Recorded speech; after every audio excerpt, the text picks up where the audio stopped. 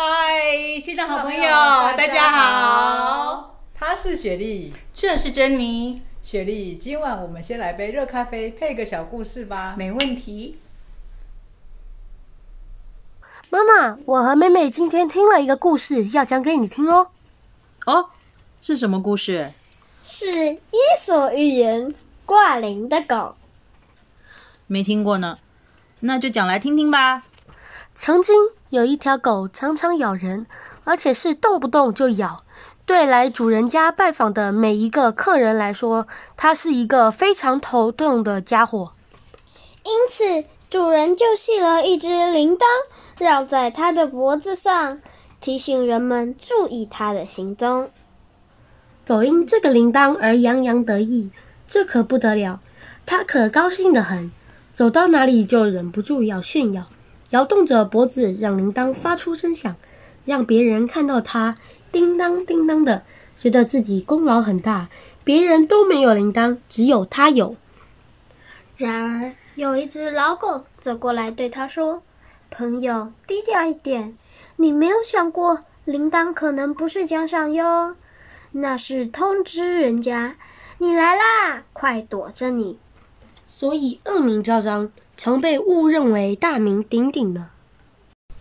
哎，雪莉啊，你有没有发现呢、在这个故事里面讲到这个现象啊，好像我们台湾社会也常常看得到哈。是是，对啊，你看，像最近啊，媒体在报道说，行政执行署啊，大肆在宣扬他们的行政绩效达到六零八零一。这六千零八十一是什么概念？就是可以新盖十座台北一零一耶，这很恐怖吧？而且连财政部啊，也在公布去年的税收啊，还超增四千亿，也是史上最高，感觉好像是在说自己的自己好棒棒的炫耀文呢。嗯是啊，这样是没这样讲哈、我也在新闻上看到哦，行政执行署呢，连民众这个化疗，连已经在化疗的救命钱呢，还有还有还有，现在不是有疫情吗？对疫情的这个纾困金啊，也被行政执行署扣走哎、这个这个是这个是基本生活费不是吗？还有人呢欠个几万块，连这个上千上百万的这个不动产呢，也被超额执行拍卖。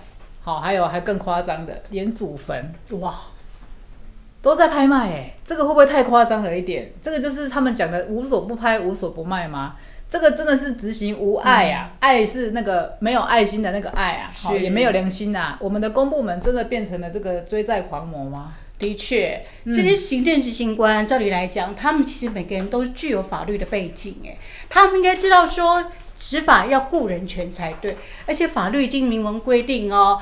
当有多种方法可以执行的时候，他们要选择对人民权益损害最小的方法才对。嗯好，还有呢，民众的这些社会福利津贴啦，还有社会补助、救济补助金呐、哎，这都是救命钱呢。你这个如果要强行征收，会死人呢。对，这只是不能开玩笑，这个不行不行。嗯，像刚刚珍妮讲的啊，欠个几万块钱就查封人家上千万的房地产，这也是不行的哎。还有像牌位啦、墓碑啦、祭祀啦、做礼拜这些物品也是不可以查封的。你看，像祖坟这些啊，也是不可以查封。行政执行署现在的作为啊，不但违法违宪，而且还违反国际两公约。你看，人死为大，这不是欺负死人吗？嗯，这个真的没良心，不行不行。太没良心了。执行署呢不守法也就算了，他还怎么样？违法哦，陷害小老百姓，这个才恐怖。基隆呢有个民众，他不过欠个嘛，欠个一万八的这个交通罚款，结果呢，他们家价值三百多万的这个主错啊，就差一点被拍卖，全家大小差一点流落街头。然后呢，执行署他要拍卖人家房地产，没有通知当事人哦，连附在这个公文书后面的这个照片呢，都是事后偷偷去补拍的，这根本就是伪造文书哎哎，我们来看看当事人是怎么说的哈。我就是那个之前那个因为一万八的两张交通违规罚款一万八没有缴，然后在今年二月中旬接到那个那个法拍得标者的公司直接来我家上门说我们家已经被他买走了，然后我到执行署去确认的时候，他说是真的。后来结果我就问他们的书记官说，为什么你要拍卖我家，通通不用贴封条，让我们知道说我家已经被拍卖了。结果他们说有，一查调阅卷调调卷中的时候，里面就是没有那个贴封条的照片。然后到了几个月之后，他们秀出照片来说，确定有贴封条。可是里面有很大的疑点，就是他们贴封条的那一那一天天气是好天气，然后他当初去我家查封的那一天是下雨天，结果证明说他们是那一张照片是事后补正的。而且我家邻居的冷气机也是在那个一百零八年才买的，他怎么可能可以把一百零七年的事情，结果里面有一百零八年的冷气？而我个人是觉得说，你身为公家机关的人员，你怎么可以说用假的照片，然后去迫害人民呢？那今天要不是那个陈教授来帮助我，以及各位媒体好各位媒体好朋友的帮助，我相信我们家早就这样子，因为一些绩效奖金早就被那个执行署的官员已经拍卖出去了。那因为里面也有许多许多的那个假证的那个疑点，那一下子在这边真的说不完，所以我今天才会来这边。一起来声援大家，真的想要告诉这些官员，不要因为一点点的那个奖金来破坏千千万万的人民。谢谢你们。陈清旭呢，他是一个低收入户，平常哦四处打零工来养活他们一家人哦。这个主错呢，是他们唯一可以这样遮风避雨的地方哦。为什么执行署要欺负这样的一个弱势老百姓呢？甚至还怎么样，你知道吗？放假消息哦，在媒体上哦，污指他酒驾哇，还有欠鉴保费哇，对。还好呢，有台大的一群教授啊，一起来救援他。好，那另外呢，也因为这样子的关系呢，让监察委员来关注这个案子，终于迫使这个行政执行署啊认错，撤销了这个拍卖，好，把这个房产呢归还给陈家。而且呢，他这个案例呢，还因为这样子呢，列为呃国家文工呃文官训练的这个人权教案啊。大家想想看哦，如果不是这个有善心人士人士的帮忙呢？他们这个后果真的不堪设想，哎，是不是要流落街头啊？大家想想看，社会上还有多少的人，可能都是这样子呢？在这个我们的这个官员啊，操弄媒体呀，抹黑造谣的下面呢，已经含冤牺牲了哦。人民要怎么去对抗公部门呢？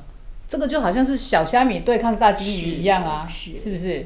对，所以呢，公部门呢，他利用这个公权力，他有公器，可以去操弄媒体，误导社会大众。然后呢，利利用这个媒体呢，未审先判，未审先判，我们千万要睁大眼睛呐，盯着我们的政府啊，我们这些官员呐，才不会呢，我们都不小心被拍卖、被卖了呢，都还在帮人家数钱，是是。说到钱呢，为什么这些官员敢明目张胆用伪造的公文来抢夺弱势民众的钱的主产？其实最大的原因就是奖金。依照执行署内部要点规定啊，执行署官员获得的奖励金跟他征收的金额成正比。换句话说，你征的越多，你的奖励金就越多。所以呢，这种错误呢，会诱导这些行政执行官员们，好，就是利用自己的公权力来破坏人权。事实上呢，公职人员利益冲突回避法有规定，这些公职人员呢，不可以假借职务上的权利来图利。而且这也违反了联合国反贪腐公约，这绩效奖金制度啊，早该废掉了。对呀，除了呢行政执行署的这个执行奖金以外啊，另外有个最令人诟病的是什么？税务机关也有税务奖励金，这些都是没有法源依据的哦。这个来自白色恐怖的这个查税奖金啊，查税人员可以从中去分奖金哦，造成什么？乱开税单，然后呢，民怨日深。好，早在十八年前，也就是民国九十三年，就在立法委员的提案之下呢，把茶税奖金废除了。那结果呢？后来财政部竟然利用什么方式呢？内部的作业要点，借尸还魂，每年都编这个上亿的这个税务奖励金的预算啊。好，今年也有啊。这样的奖励金呢，是怎么样引发这个人性里面的贪婪？也就这个，也就是我所谓的这个税务的冤错假案啊，乌龙税单的这个源头啊，我们这些纳税人绝对不能再容许这样子公务员这样的行径了。我们呢，下面也再来一起看看一段影片。那有一次就问那个时候财政部长是张盛和，张盛和就跟我讲说：“委员啊，你如果都把它砍掉的话，那个没有茶税就不足以养廉呐、我说我们台湾就是要用茶税才足以养廉。你看这个是什么政府啊？我都跟他讲说，所以国税局的人看到，其实财政部的人看到我也蛮害怕的。我都跟他们讲说，你们国税局应该是要这么做，就是说大家哈、应该鼓励大家去缴税，对不对？好、不应该来查人家的税，对不对？你缴比较多的税，好，我就给你比较多的减免，这样才对嘛，哈。但是我们的政府不是这样，所以我们再回过头来看到我们这个太极门的案件，我让我觉得感触非常的深刻，就是说，其实好几个这个年度的都已经撤销了，哈，那也都没有去执行了，结果唯独剩下一件，那。这一件呢，就表示说我们的行政官员没有担当啦，哈。那我们要这个政府做什么？好，你本来政府就是有担当，你已经有错误了，你就是自动自为撤销就好了。好，还要搞到我们太极门的师兄姐要去拿牌子抗议，好，然后还要再去就是去申诉，还给我们强制执行，这样子哪有符合人权呐、完全没有，对不对？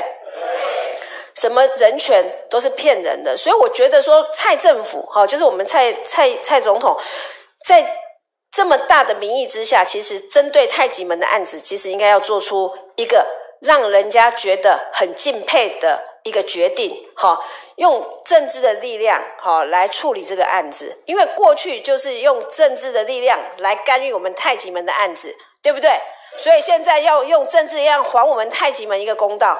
所以在今天这样子的一个日子，我们也是呼吁哦，我们的政府应该要正视这样一个问题。针对太极门的案子，其实很简单，做错了，政府就勇于承认错误，就撤销。这种奖励金也好，刚才那个那个所谓划完奖金也好，多些多种制度都不合理啦。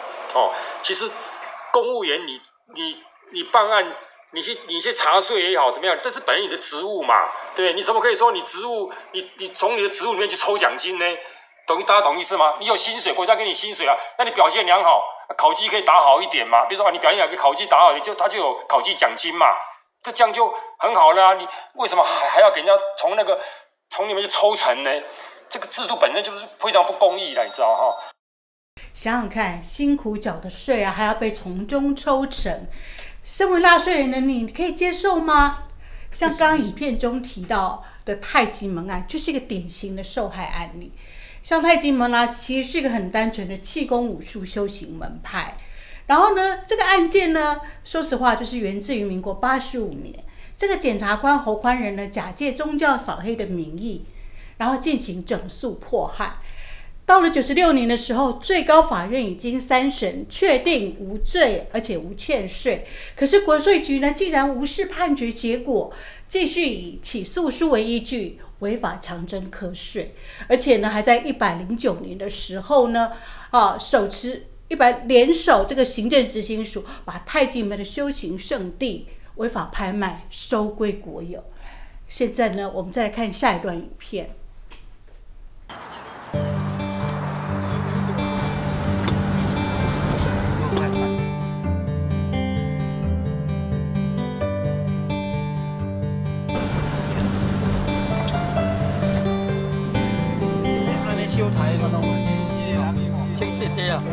好，哎哦，這加加九一七嘛，給我。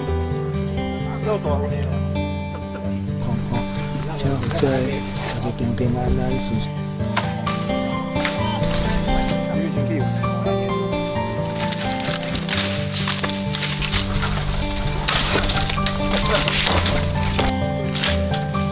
这是第二。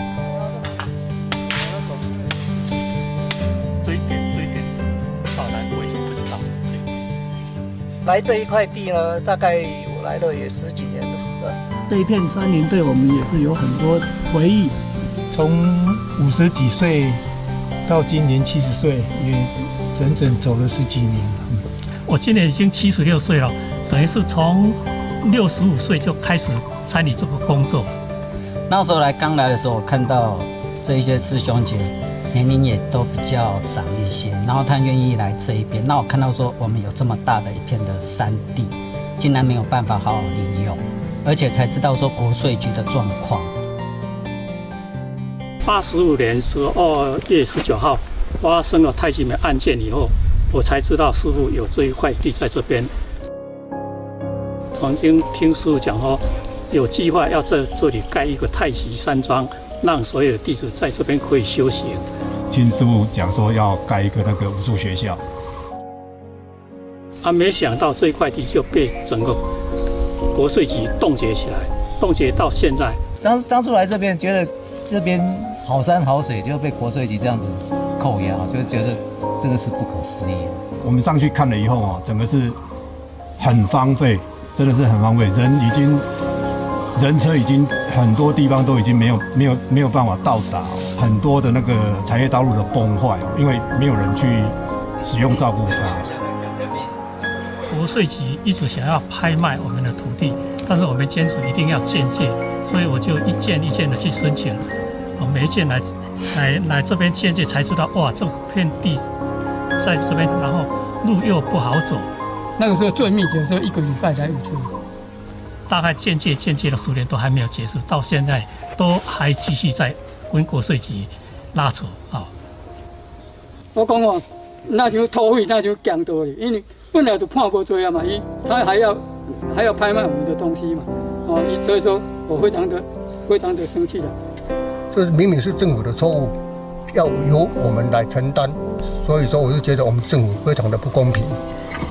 哪有政府国税局那么压霸的？明明这个事情早就还我们公道了。为什么国税局的一次的错误，造成我们现在很多东西都不能动？一个师傅的理想，在太极门事件发生以后，没办法去实现了，真的是很可惜的一件事情。那也让我觉得说很心痛的一件事情。法院高等法院最高法院三审经过十年，呃七个月都判太极门无罪无罪无违反税捐稽征法，但是国税局独独的都还不愿意把这个冻结的这些资产撤销。最高法院的判决就等于是圣旨一样，全国的老百姓、公务人员都要遵守。为什么独独可以国税局会不遵守最高法院的判决？嗯师傅二十几年来都还愿意这样子，慢慢的去跟政府在打交道。但是跟着当然就很辛苦了，跟着练功嘛，大家一定要有这个耐心嘛，再怎么辛苦也要做啊。我们应该想办法，一定要解决掉，我们才有办法把太极门的精神再发扬光大。我们一定要捍卫这块土地，我们要保护我们的家，所以他们只要每次说，我一定都会到。跟师兄师姐甘苦与共哈，共同把我们太极门的家园哈，把它捍卫好。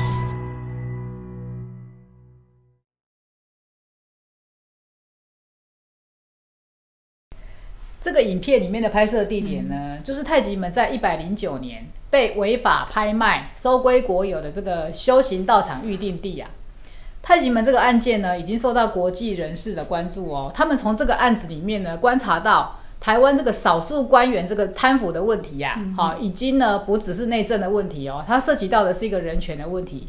你刚刚看到啊，影片中有看到，像太极门师徒。好，他们呢受到的侵害其实不只是财产权而已哦，而是他们每一个人的修行、追求这个心灵成长的这个好信仰的自由，还有文化生活的选择权，都是被剥夺的啊。这一种信仰人权其实是一种普世的人权价值，尤其是在国外人士来看，他们觉得说这个东西是非常重要的哈，他们也非常的重视。然后呢，所以这个案子呢，已经国际呢这个非政府组织已经把太极门案四度送进了联合国人权理事会。也有二十五个国际人权专家呢，一起联名写音给小英总统，要求解决太极门案。我们来看两段影片，这个是分别是国际呢跟国内这个两个专家的这个观点。那我现在来讲，宗教抹黑、政治整肃到平缓，二十五年来，其实我们只有判定真跟假，其他都不要讲，根本不是税的问题。税根本没有没有证据，六十一万的这个存折的本子，怎么可以编出来三十一亿的税金呢？这个是什么的五千倍？这从头到尾都假。我们开始来看，这从头到尾都假。第一个假呢，就是用黑函，黑函就是造假的启动点。告诉你，黑函造假，现在太极门那个苗栗的五十笔土地被征收以后，这些黑函捡起人还在领检举奖金呐。第二个就是编故事，就是黑箱编故事，自己在瞎掰。侯宽仁在瞎掰，自己才是黑心的人。自己黑心的人看别人是宗教是黑的，其实是宗教抹黑，竟然写成宗教扫黑，所以在编故事，编什么样故事？编竟然可以桃木剑养小鬼，就是用十字架去养魔鬼，有没有可能？不可能！这个瞎掰王。再来呢，先媒体后司法。透过他的应用媒体造假，所以一二一九当天媒体就来一起来报道，所以媒体是台湾的乱言，因为他没有灵魂。再来这讲了捡起人蔡家龙、王培杰、贾建立，这些都是假。然后呢，政治整肃抹黑，就像冠状病毒一样。传染病毒抹黑你，然后害你，然后呢，破坏者呢有 A、B、C、D，首脑，首脑就是当时一九九六年的总统跟副总统，他们互相推责任，总有一个副首脑呢就是部长廖正豪，再来呢破坏者。侯宽仁算是攻击是第七级的啊，再来执行的人呢，就是税吏、警察，还有荷枪实弹的人。这些人把一个台湾的民主法治，在一九八七九年以后，一九九六年十二月十九，竟然可以玩这种故事书，对不对？所以这个东西现在一个一个拆穿，全部是假，所以。税单也是假的，税率这里根本没有任何调查。这个史业生，然后呢，史业生税率呢，在一九九七年四月九号为证，然后呢，史业生呢也没有做任何东西。当时审查二科三科根本没有去查，用后来抄法务部呢调查局台北市调处的笔录。说这整个都是假的，从头到尾都是假，没有一个是真的。Corruption played a crucial role in what happened to Taijimen. Even without mentioning political corruption, that is a fact that the criminal prosecution of 1996 was politically motivated and based on grounds the prosecutor knew were false. The whole story of the 1992 tax bills and the auction and seizure of Taijimen sacred land in 2020 is a classic tale of corruption. Why did the tax bureaucrats and the enforcement bureaucrats act as they did? Because of a peculiar Taiwanese system denounced as immoral by leading scholars in Taiwan and internationally, whereby they get bonuses based on tax bills and enforcement. So the system creates a monumental conflict of interest. Unless the bureaucrats are all on angels, the systems also becomes a machine to generate corruption.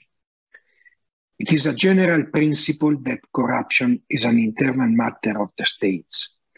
They should spot it, punish it, and rectify it Internal, international bodies and other countries can offer suggestions and even shame the corrupted states publicly, but they cannot intervene.